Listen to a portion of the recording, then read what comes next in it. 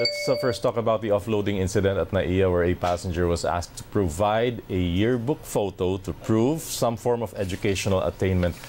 A yearbook photo, I mean, really, was this required? Well, definitely asking for a yearbook photo is not part of the questions of our immigration officers. Um, this got the management's attention because, while the procedure of undergoing secondary inspection is really part of um, the immigration officer's duties, um, asking such questions that might not really uh, be helpful in knowing the background of the person. It's it's a cause for concern of the management. It's really the manner on how the secondary inspection was conducted that we might see as um, uh, a cause for concern here. And what did the personnel wanted to prove at this point uh, for this specific case by asking well, for a yearbook photo? Yes. Well, when we asked the immigration officer involved, he denied um, asking for a yearbook photo. Um, but um, perhaps he was uh, interested in knowing the background of um, the the uh, the uh, person who went viral. But definitely, this is not part of um, the regular questions of immigration officers. All right. Now, this incident caught attention on social media, Ms. Sandoval. Uh, what is the Bureau of Immigration doing now to address uh, this incident? And please tell us what your investigation has found out so far. Have there been lapses? Yes, well, we we encourage feedback. We really appreciate feedback, and if uh, there if there is nothing, if, if there are any, if there are anything uh, uh, concerning um, travelers, if you see something not nice or actions that you might think that are uh, unprofessional, we encourage um, uh, passengers to immediately report it to the Bureau of Immigration. For this specific case, Stanley, the immigration officer involved was reassigned to uh, one of our back end offices uh, and was removed from the front lines. All right. Have you reached out to uh, the complainant and what did she have to say? Um, from what I recall, she submitted a complaint um, via one of our social media portals, but um, that complaint is being um, processed already um, by our offices.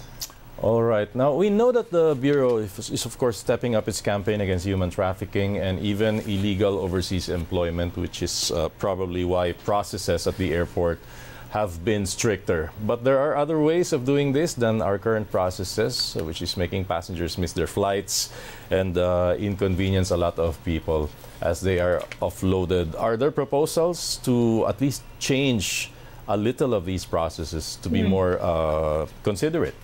Yes, definitely. Um, we have initiated um, a review of the procedures um, at the airports uh, for, for those undergoing secondary inspection.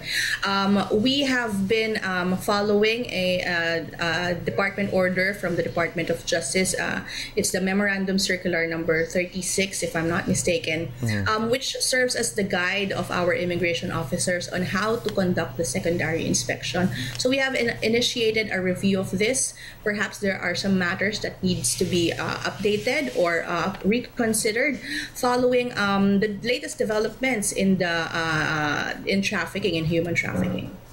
All right. Speaking of human trafficking, let's shift now to crypto scam trafficking. Uh, what are the inroads made by the Bureau of Immigration as regards this campaign? Well, um, this uh, human trafficking, this crypto scam trafficking, is really still here.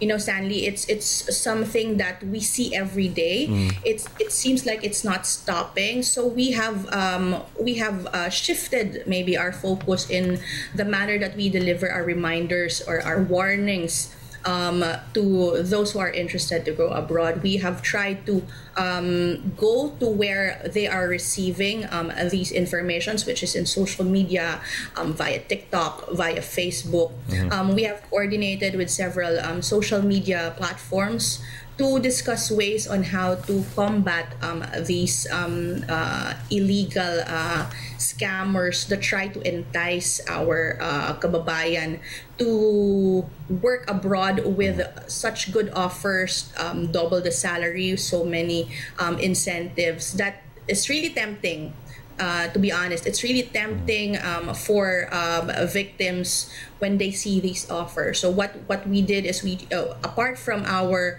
um, strict border management, we try to send out the information in the channels um, that um, these scammers are using and abusing to be able to counter the information, the misinformation, the disinformation that they are sending.